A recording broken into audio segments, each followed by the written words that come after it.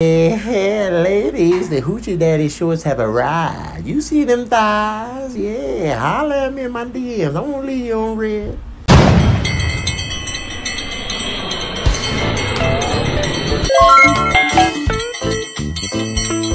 Please subscribe.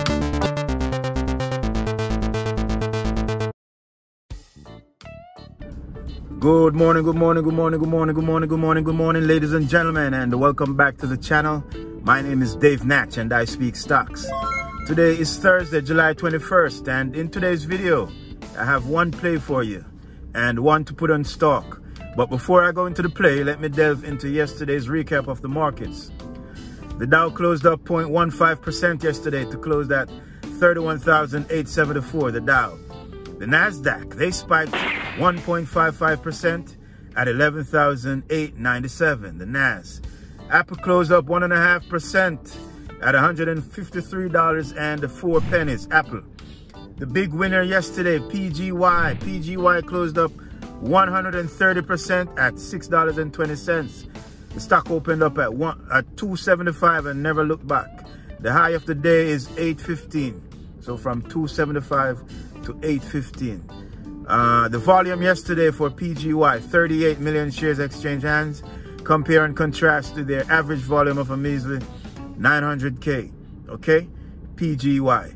Let's jump right into it. Dave's play today is a SP play. In and out, grab and go, one and move. Do not overstay your welcome.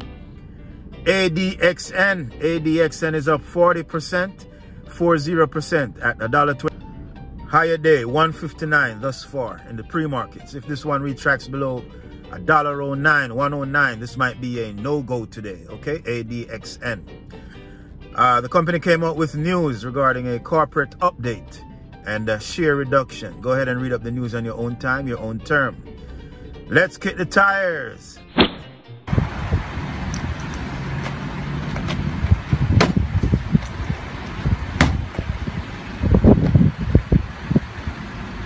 They were a market cap of 7 million. They have a teeny tiny float of 2 million. Okay. This one is in the biotech sector, headquarters out of Switzerland. No insiders. 17% institution and short as 0.10%. They have 2.47 million in revenues. Their revenue per share is 0.42. This is ADXN. They have a total cash in hand of 15 million. They have a total cash per share of 2.36. a total debt 413k, 413k in debt, bringing them to a nice current ratio of 4.32. A current ratio of 1 is at par, meaning for every dollar in debt, the company has a dollar in cash. This one is way above par, 4.32 ADXN. Please put on stock today. Seal, S-E-E-L. The stock is up 10% at 107. The higher day thus far, get this, $1.50. This one has a lot of gyration going on. Be careful. Just keep a stock on this one, Seal. This one is in the biotech space, headquarters out of New York City. If this one stay above $1.04, that's a sign of strength, okay? S-E-E-L. They have a market cap of 95 million, a total cash of 62 million, and a total debt of 19 million. Their current ratio is sitting healthy at 6.98. This one won't be going bankrupt any day soon. S-E-E-L. That's all I have for you, ladies and gentlemen. Don't forget to follow me on Twitter, guys, at WT for my stock alerts. In the meantime, in between time, always protect your neck. Always say a stop loss. Do not invest more than you're willing to lose. And whenever you see some profits, take some profits because now you see them, now you don't. Dave Natch, I'm out. Boom, bam. Make your next trade your best trade. Do remember, if you wish to open a trading account, check out my Webull link below. You will get some free stocks. Minimum deposit required is just a penny, just a penny. Also, pre-market hours trading starts at 4 a.m. sharp. 4 a.m. sharp with Webull. Webull only the way to go. Pre-market hours trading is very risky. It's not for the risk averse.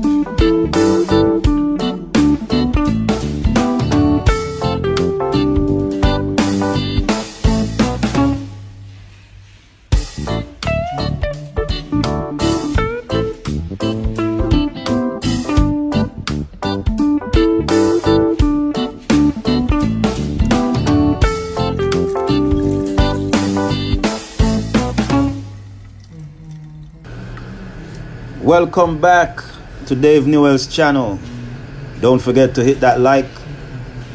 Please subscribe and share. To listen to their words. One evening he did hear the ox bemoaning to the ass the hardness of his lot.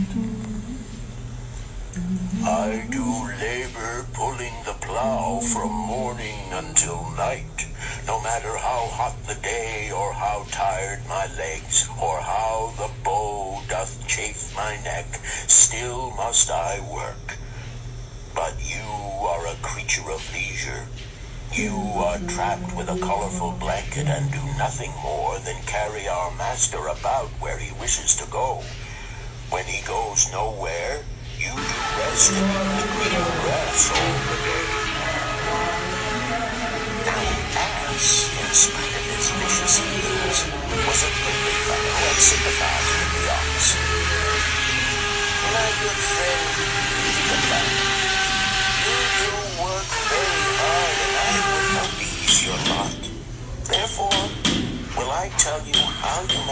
Day of rest.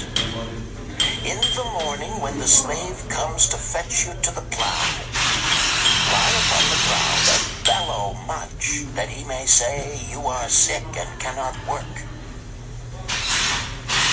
So the ox took the advice of the ass, and the next morning the slave returned to the farmer and told him the ox was sick and could not pull the plow.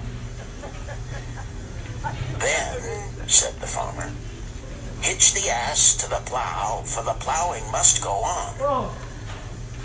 All that day, the ass, who had only intended to help his friend, found himself compelled to do the ox's task. When night came and he was released from the plow, his heart was bitter, and his legs were weary, and his neck was sore where the bow had chafed it. The farmer lingered in the barnyard to listen. The ox began first. You are my good friend. Because of your wise advice, I have enjoyed a day of rest. And I, retorted the ass, am like many another simple-hearted one who starts to help a friend and ends up by doing his task for him. Hereafter you draw your own plow, for I did hear the master tell the slave, the butcher, were you sick again? I wish he would, for you are a lazy fellow. Thereafter, they spoke to each other no more.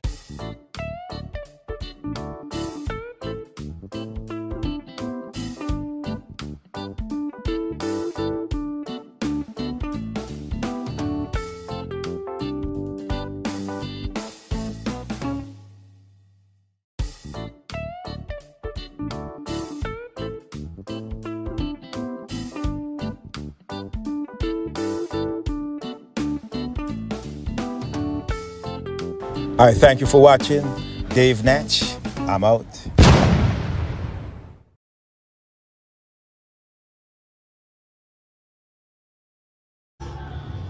The bank can be a very beautiful thing.